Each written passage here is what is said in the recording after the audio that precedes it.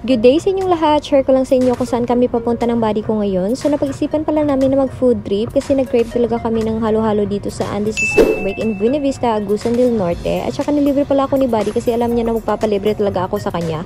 Buti na lang advance talaga mag-isip si Buddy. So ayan na guys, papasok na ang atin yung pilingera. So, this time mo murder na nga si Buddy at yung tendera nakatulala lang sa kanya. Tumakbo na pala si Buddy na para bang nanalo sa Milo Marathon between ang trophy papunta sa table namin.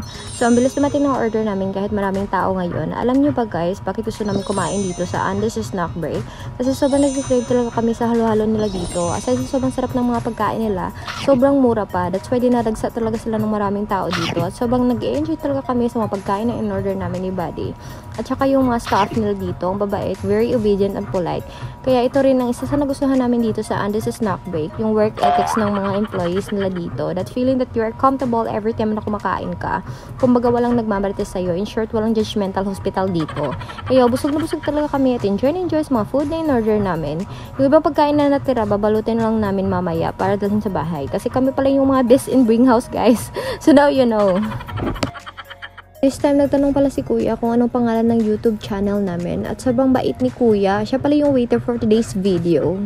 So, ayan na pala. So, ayan na. Bilis lang dumating ng order namin. Kita nyo yung waiter na dumaan sa likod ko. Order namin yun, guys. Kaso nahirapan si Kuyang hanapin kami. Kaya tinawag na lang namin siya. So, we're here, Kuya. Come here. So, nakita na kami ni Kuya. So, ayan na si Kuya. Nalapag na ni Kuya yung in-order namin. So, we ordered one submarine, two sets of burgers. At sobrang worth it talaga ng mga pagkain ito. Super affordable pa at ang sasarap. So, i-arrange ko muna para picturean para may pang tayo mamaya. So, magpapagana muna si ate nyo. At yun na naman si kuya, dumaan na naman sa likod ko. So, this time, pinaasan na naman kami ni kuya. Sobrang sakto talagang paasahin or assuming lang talaga kami. Di pala yun sa amin, guys. And of course, our favorite halo-halo for only 55 pesos lang. Sobrang sarap talaga ng halo-halo nila dito, guys. Promise. So, here's the lumi. Super sarap at napaka worth it nito. Mabubusog ka talaga kasi sobrang laki ng pinaglagyan ng lumi nila. At marami pang laman sa halagang 130 pesos lang. Serve to 4 to 6 persons. Super worth it talaga. At di namin kaya ubusin to ngayon guys. Kaya tulungan nyo kami ubusin to. So as you can see, talagang bagong luto pa. Nag-aso-aso pa siya no. So kumuha na nga ang atin nyo kasi mas masarap kung mainit pa. So medyo nahirapan akong kumuha.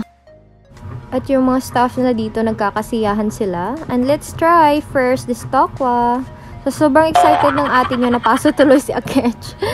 so, higupin muna natin guys. Ito talaga yung una kong kinuha sa Lumi. Ang sarap, parang fishball lang. Yan. So, ang sarap. So, next na kainin ko is itong atay. So, atay ba ito or ano? Basta, let's eat together. so, ayan na. So, sobrang sarap. So, the Lumi is really good talaga. At syempre, itong tempura nila dito, mura lang din to for only 49 pesos lang. At ang sarap ng sauce sa tempura nila. So, let's eat tempura! Yan. So, ang sarap talaga ng sauce. Namnam na namnam ko talaga ang sauce. Super worth it talaga ng pera nyo dito. Di talaga kayo magsisisi na kumain kayo dito sa Andes Snack Break.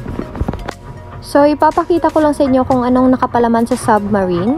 Ang nakapalaman pala dito, merong cheese. Ang social, merong cheese, no? Merong tomato, merong ham, at lettuce. So, saan pa kayo makakahanap ng ganitong pagkain? Healthy na, affordable pa. For only 99 pesos lang. At nilagyan din nila ng masarap na sauce. Kaya ito talaga yung palaging in-order namin dito sa Andes Snack Break na palaging pinapartner namin sa halo-halo. Kahit ito lang yung kinakakainin mo, mabubusog ka na talaga. So, super worth it talaga ng mga pagkain nila dito. mag enjoy ka talaga. So, ayan guys.